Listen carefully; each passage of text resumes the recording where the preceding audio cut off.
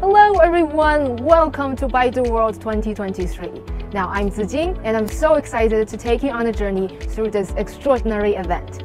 Thousands of people have came for Baidu's most important annual event focusing on strategies, technologies and product launches, where Baidu is all set to prompt the world.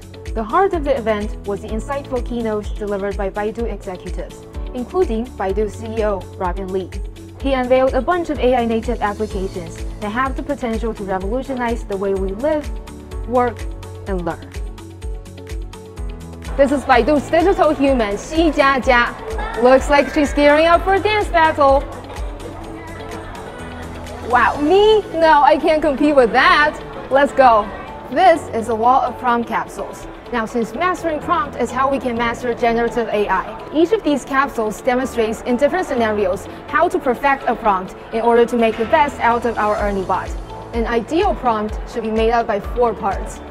There's task, object, details, and format. This is the Do Gallery, powered by Baidu's Wenxin Yige, which is an AI text-to-image tool. Now, I think we should try one, shall we? Wow! Can you believe that all of these are generated by AI? It's amazing. It is moments like these that remind us of the real impact of AI innovations. Now, the future of AI is not a distant dream. It's happening right now, and it is remarkable. Thank you for your attention of the Baidu World 2023, and please stay tuned for more updates. Bye!